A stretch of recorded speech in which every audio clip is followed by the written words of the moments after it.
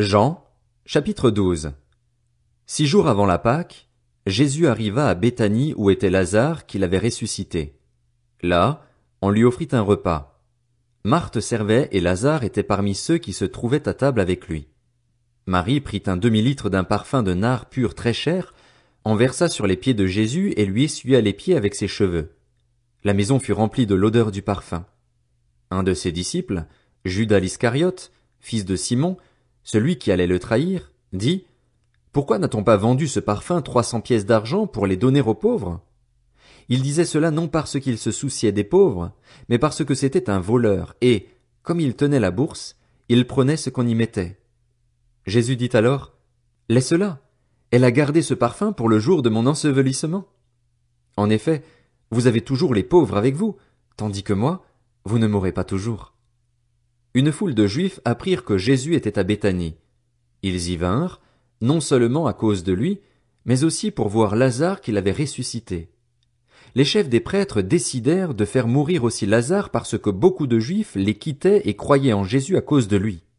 Le lendemain, une foule nombreuse de personnes venues à la fête apprirent que Jésus se rendait à Jérusalem. Elles prirent des branches de palmiers et allèrent à sa rencontre en criant Hosanna! Béni soit celui qui vient au nom du Seigneur, le roi d'Israël. Jésus trouva un anon et s'assit dessus, conformément à ce qui est écrit, N'aie pas peur, fille de Sion. Voici ton roi qui vient, assis sur le petit d'une ânesse. Sur le moment, ses disciples ne comprirent pas ce qui se passait, mais, lorsque Jésus fut dans sa gloire, ils se souvinrent que ces choses étaient écrites à son sujet et qu'on les avait faites pour lui.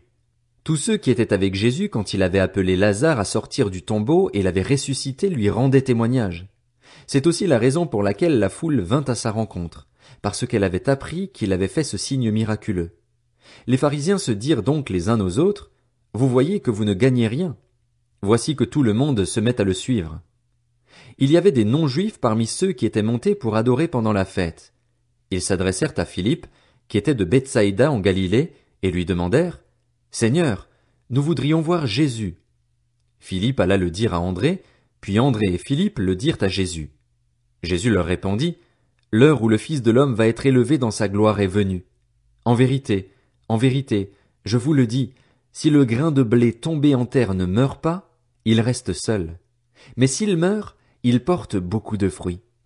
Celui qui aime sa vie la perdra, et celui qui déteste sa vie dans ce monde la conservera pour la vie éternelle. Si quelqu'un me sert, qu'il me suive, et là où je suis, là aussi sera mon serviteur. Si quelqu'un me sert, le Père l'honorera. Maintenant mon âme est troublée. Et que dirais-je? Père, délivre-moi de cette heure? Mais c'est pour cela que je suis venu jusqu'à cette heure. Père, révèle la gloire de ton nom. Une voix vint alors du ciel. J'ai révélé sa gloire et je la révélerai encore. La foule qui était là et qui avait entendu, disait que c'était le tonnerre. D'autres disaient, un ange lui a parlé. Jésus reprit la parole. Ce n'est pas à cause de moi que cette voix s'est fait entendre, c'est à cause de vous. C'est maintenant qu'a lieu le jugement de ce monde. C'est maintenant que le prince de ce monde va être jeté dehors.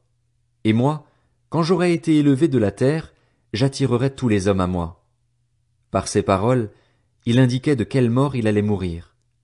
La foule lui répondit, nous avons appris par la loi que le Messie vivra éternellement. Comment donc peux-tu dire Il faut que le Fils de l'homme soit élevé? Qui est ce Fils de l'homme? Jésus leur dit La lumière est encore pour un peu de temps parmi vous. Marchez pendant que vous avez la lumière afin que les ténèbres ne vous surprennent pas, car celui qui marche dans les ténèbres ne sait pas où il va.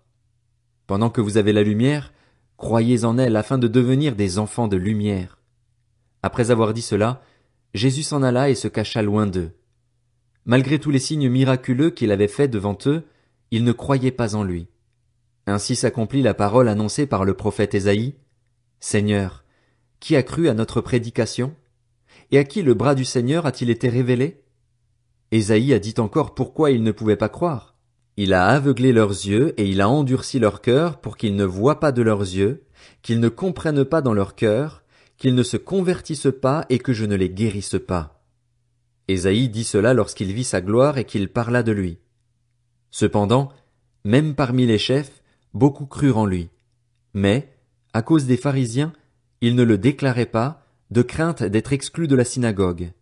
En effet, ils aimèrent la gloire des hommes plus que la gloire de Dieu. Quant à Jésus, il s'écria, Celui qui croit en moi ne croit pas seulement en moi, mais en celui qui m'a envoyé, et celui qui me voit voit celui qui m'a envoyé. Moi, la lumière, je suis venu dans le monde afin que quiconque croit en moi ne reste pas dans les ténèbres. Si quelqu'un entend mes paroles mais n'y croit pas, ce n'est pas moi qui le juge, car je suis venu non pour juger le monde, mais pour le sauver. Celui qui me rejette et qui n'accepte pas mes paroles à son juge, la parole que j'ai annoncée, c'est elle qui le jugera, le dernier jour. En effet, je n'ai pas parlé de ma propre initiative, mais le Père, qui m'a envoyé, m'a prescrit lui-même ce que je dois dire et annoncer, et je sais que son commandement est la vie éternelle. C'est pourquoi ce que j'annonce, je l'annonce comme le Père me l'a dit.